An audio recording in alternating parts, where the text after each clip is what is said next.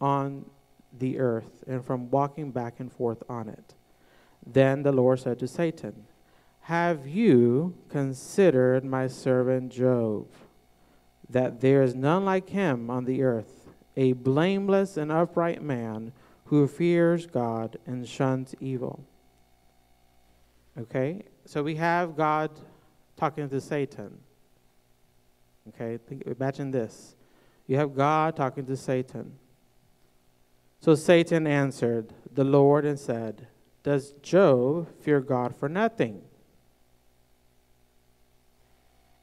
Have you not made a, a fence around him, around his household, and around all the things that he has on his side? You have blessed the works of his hand, and his possession have increased in the land. Okay, so here's the fence that I was talking about, the blessed fence. Okay, so God has a fence over over our lives, and you see, I went to the store this weekend or this week, and I was looking for a frame. I was looking for something to represent this. So I I found this fence, and this fence is symbolic symbolic to what we have around our lives. Okay? So you have a fence around you. Okay? And this fence goes around your life.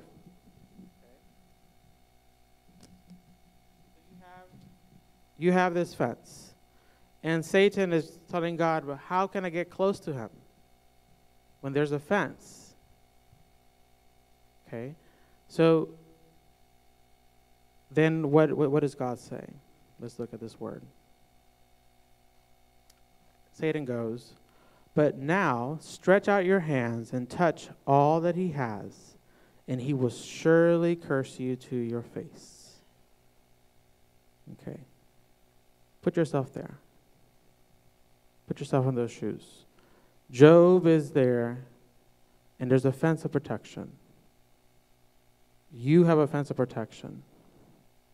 Okay? Satan says, if you take this fence down, he will curse you. What about you? Would you curse God? Let's continue reading. And the Lord said to Satan, Behold, all that he has is in your power.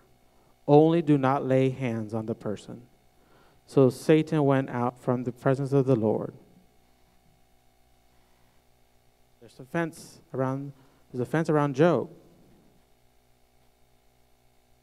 And here comes Satan.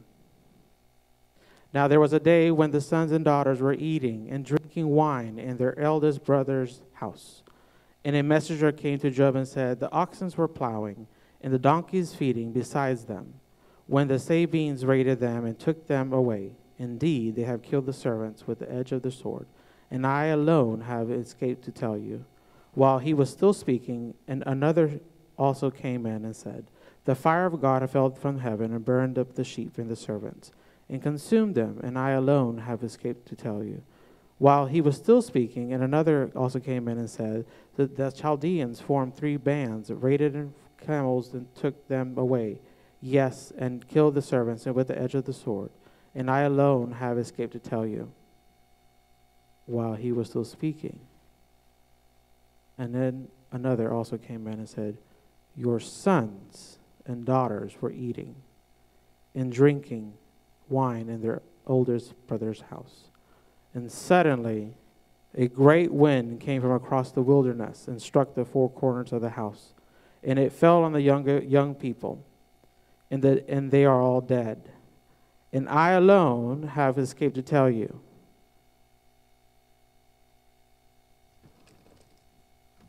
No longer do you have a fence. No longer do you have that fence of protection. Now that's Job's story. Let's bring it to our today's story. You are minding your business when all of a sudden people are attacking your character. You're minding your business when all of a sudden you leave to work and come back home and all of your stuff is no longer there. Now let me stop preaching about myself and let's talk about you guys. Your car is broken into and the thief steals it. Your house floods and you lose everything. The child that you prayed for dies in your arms. You get a pink slip and you don't know what else is going to happen next. The doctor says, I'm sorry to inform you, you just had a miscarriage. The person you love the most dies suddenly. You have legal issues. The house of your dreams falls through. Your car gets repossessed. Your fence is broken. Do you curse God and said, God, you allow this, so I won't follow you anymore? How are you doing?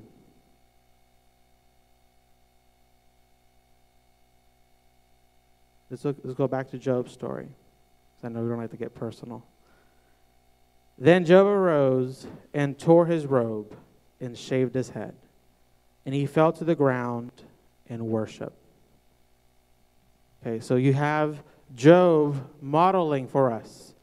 When your fence is broken, when the things that you think you need, God says, your fence is no longer there. What is the posture? Naked I came from my mother's womb, and naked I shall return there. The Lord gave, and the Lord has taken away. Blessed be the name of the Lord. That is coming from your youth. But Jesus said, Are you listening? Are you listening to what God is saying? Are you listening what Job modeled for us? Naked I came from my mother's womb, and naked shall I return there. The Lord gave, and the Lord has taken away. Blessed be the name of the Lord. So, we have a ministry of suffering that we have neglected in today's church. The moment we have a few mishaps, the moment our, our fence breaks, we start cursing God. We curse the people, we curse everybody. It doesn't matter who's around us, they're going to get it. They're, they're going to get it. So we feel so off guard because the fence is no longer there. Your car is broken into. Did you ask God first to say, you, did He ask you first? No. He is God. You go to the doctor and to say, I'm sorry, you have a miscarriage or your baby dies. All of these things were happening to Job. All of these things were happening. Okay? So you have, in this day and age, God wants you to use this ministry of suffering and prostrate yourself. Okay? God says in the Word of God that Job fell down to the ground and worshiped. Don't call your people. Don't call your friends. Don't call your, your family. Get on your knees and worship God. And He will have, He has the last say. Okay? So now we have, at the bottom it says, And in all this, Job did not sin, nor did he charge God with wrong. He didn't blame God. He didn't say, Oh, God, you did this, your fault, this is this and this. He didn't charge him. Then here we go. Here is the next thing. Here is another meeting. There's another, still another fence that Satan could not reach.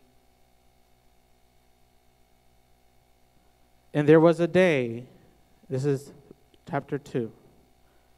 And there was a day when the Son of God came to present themselves before the Lord. And Satan came also among them to present themselves before the Lord. And the Lord said to Satan, From where do you come?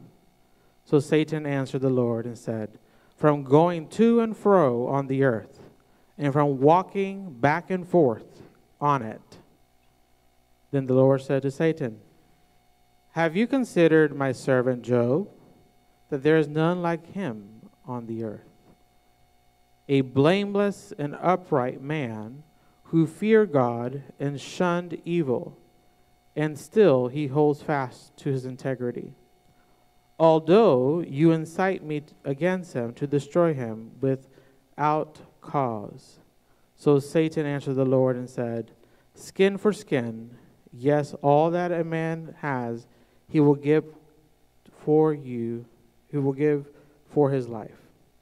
But stretch your hand and touch his bone and his flesh, and he will surely curse you to your face.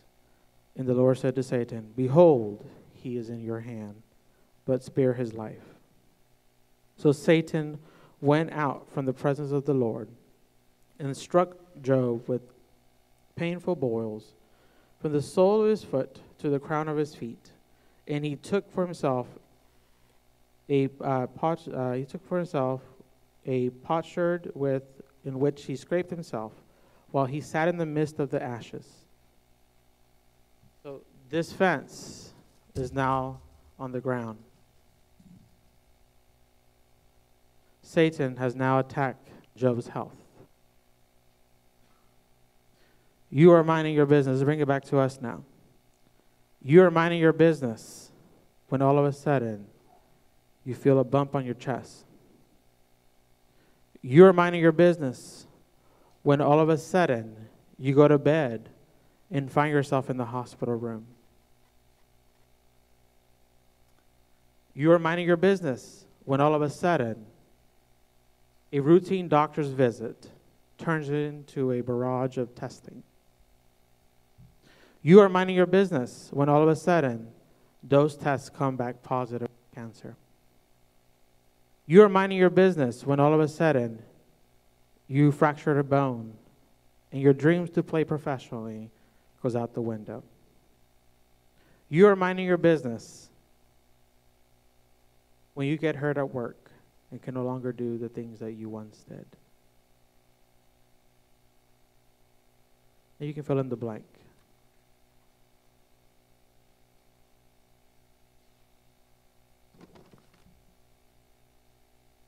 In this ministry of suffering, you don't get to choose the things that you go through. You don't get to choose the things that you have been destined to go through.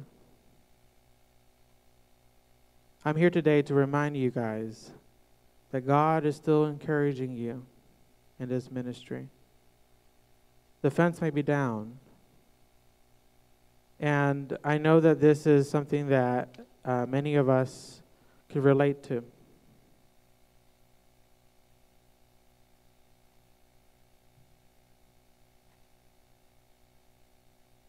And to top it off, here's the next part.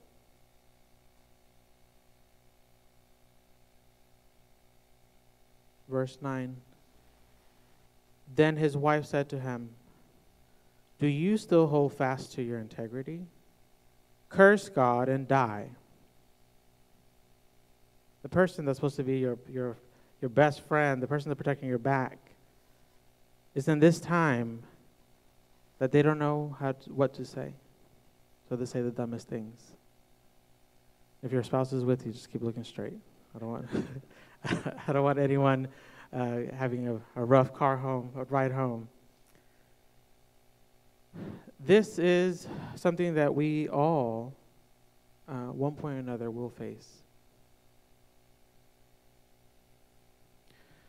Um, I was writing this, this sermon um, when I received, uh, I received notice that one of my old pastor's wives passed away.